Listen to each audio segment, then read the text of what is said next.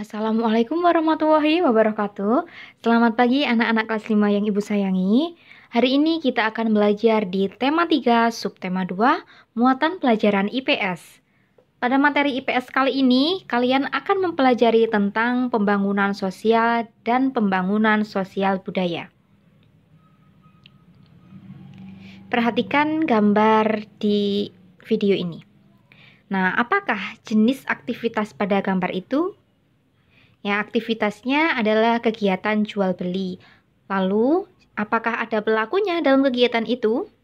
Ya, pelakunya adalah pedagang dan pembelinya. Nah, kegiatan ini merupakan contoh kegiatan pembangunan sosial. Pembangunan sosial selanjutnya, selain jual beli di pasar, ada juga kegiatan sosial, pembangunan sosial di perbankan. Misalnya, seorang pegawai bank dengan nasabahnya. Di sekolah pun juga ada kegiatan pembangunan sosial.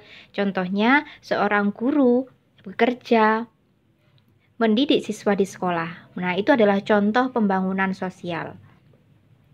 Lalu, apa pengertian pembangunan sosial? Pembangunan sosial merupakan semua aktivitas yang menggabungkan aspek sosial dan aspek ekonomi. Jadi, semua kegiatan yang berkaitan dengan orang lain, sosial, dan ekonomi itu adalah pembangunan sosial. Tujuan pembangunan sosial adalah untuk meningkatkan taraf hidup manusia Cara meningkatkan pembangunan sosial ada beberapa cara. Yang pertama, menjaga kerukunan antar warga masyarakat. Jika kamu menjaga kerukunan, maka pembangunan sosial akan meningkat. Yang kedua, menyelesaikan masalah yang muncul di lingkungan masyarakat dengan bermusyawarah. Yang ketiga, membangun industri pariwisata yang bertujuan untuk melestarikan warisan budaya dan gotong royong membersihkan lingkungan itu merupakan cara meningkatkan pembangunan sosial.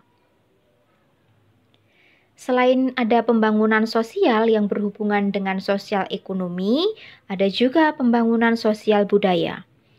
Pembangunan sosial budaya adalah proses perubahan dalam bidang sosial dan budaya yang direncanakan untuk meningkatkan kesejahteraan masyarakat. Nah, jadi semua pembangunan sosial maupun pembangunan sosial budaya mempunyai tujuan yang sama, yaitu meningkatkan kesejahteraan masyarakat.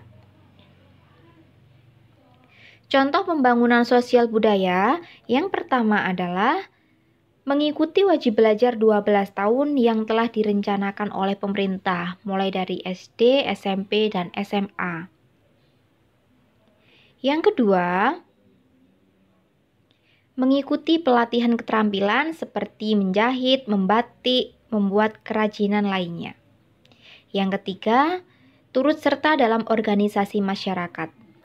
Contoh lain dari pembangunan sosial budaya adalah kamu bisa mengikuti kegiatan pelatihan kesenian seperti menari, bermain kuda lumping, bermain gamelan. Nah, itu adalah kamu dapat melakukan pembangunan sosial budaya.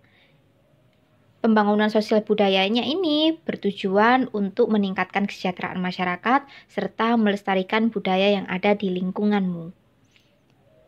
Nah, itu tadi adalah pembangunan sosial dan pembangunan sosial budaya yang ada di lingkungan masyarakat.